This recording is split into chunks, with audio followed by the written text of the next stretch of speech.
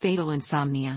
Fatal insomnia is an extremely rare sleep disorder that is typically inherited and results in death within a few months to a few years after onset. The main symptom is insomnia, but the disease can also cause a range of other symptoms, such as speech and physical coordination problems and dementia. It is a prion disease of the brain, and is almost always caused by a mutation to the protein PRP. It has two forms. In the autosomal dominant inherited form, it is called fatal familial insomnia. It can also develop spontaneously as a non-inherited mutation variant called sporadic fatal insomnia. The first recorded case was an Italian man, who died in Venice in 1765. Fatal insomnia has no known cure and involves progressively worsening insomnia, which leads to hallucinations, delirium, confusional states like that of dementia, and eventually death. The average survival time for patients diagnosed with FFI after the onset of symptoms is 18 months. The mutated protein, called PRP, has been found in just 40 families worldwide, affecting about 100 people.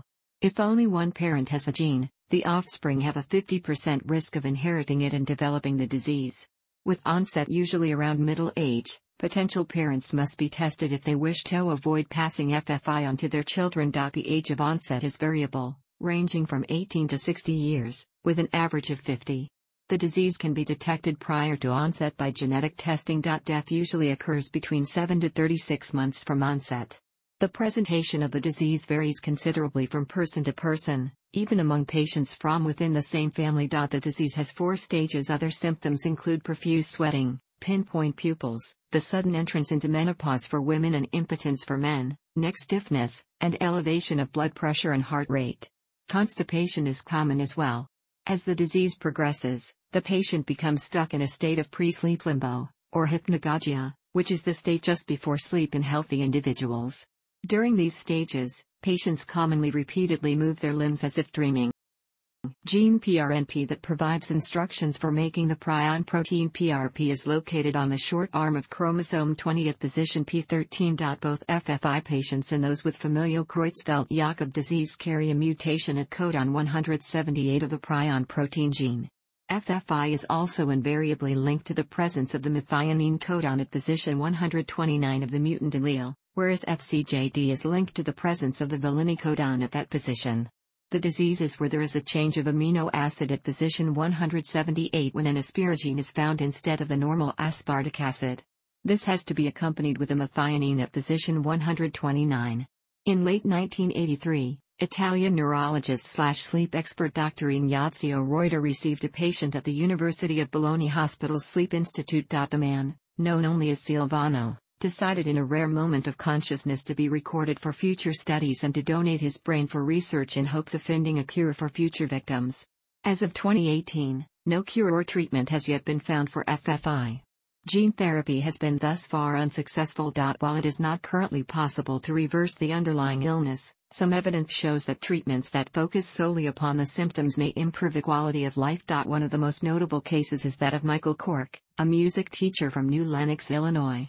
He began to have trouble sleeping before his 40th birthday in 1991. Following these first signs of insomnia, his health and state of mind quickly deteriorated as his condition worsened. Eventually, sleep became completely unattainable, and he was soon admitted to University of Chicago Hospital where physicians were initially puzzled by his presentation. As his course progressed, physicians attempted to induce a coma with the use of sedatives. Nevertheless his brain still failed to shut down completely. Cork died in 1993, a month after his 42nd birthday, when he had been completely sleep deprived for six months. One person was able to exceed the average survival time by nearly one year with various strategies, including vitamin therapy and meditation, using different stimulants and hypnotics, and even complete sensory deprivation in an attempt to induce sleep at night and increase alertness during the day. He managed to write a book and drive hundreds of miles in this time, but nonetheless, over the course of his trials, the person succumbed to the classic four stage progression of the illness. In 2011, the first reported case in the Netherlands was of a 57 year old man of Egyptian descent. The man came in with symptoms of double vision and progressive memory loss, and his family also noted he had recently become disoriented, paranoid, and confused. While he tended to fall asleep during random daily activities, he experienced vivid dreams and random muscular jerks during normal slow wave sleep. After four months of these symptoms, he started having convulsions in the hands, trunk, and lower limbs while awake. The patient died at age 58, seven months after the onset of symptoms. An autopsy revealed mild atrophy of the frontal cortex and moderate atrophy of the thalamus. The latter is one of the most common signs of FFI.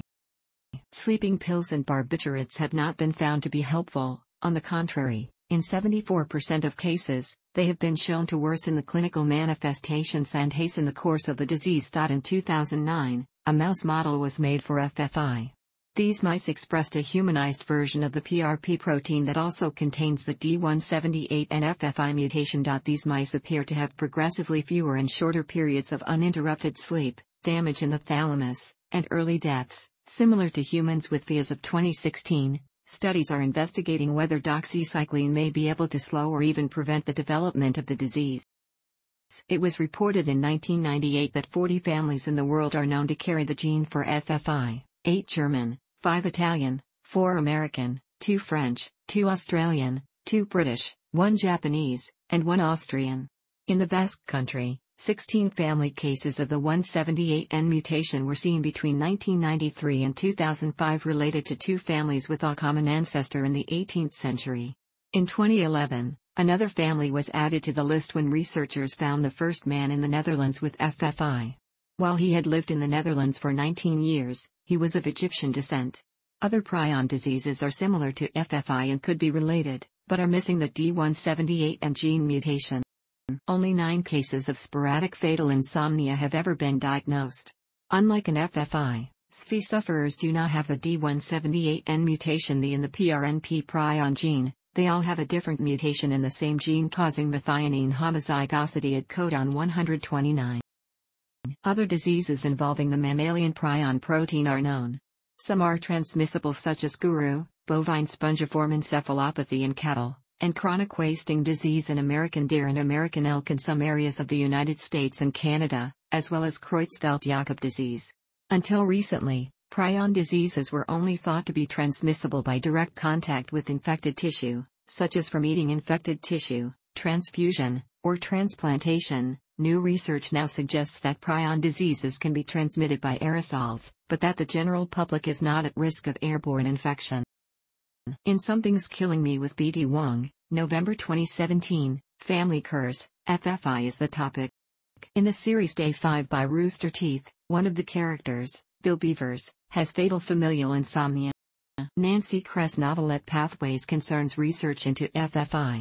Dustin Thomason's novel 12.21 features an FFI mutation that becomes an epidemic. C https colon slash slash www.goodreads.com slash book slash show slash 13572813121. Thanks for watching. Don't forget like the video and don't forget to subscribe.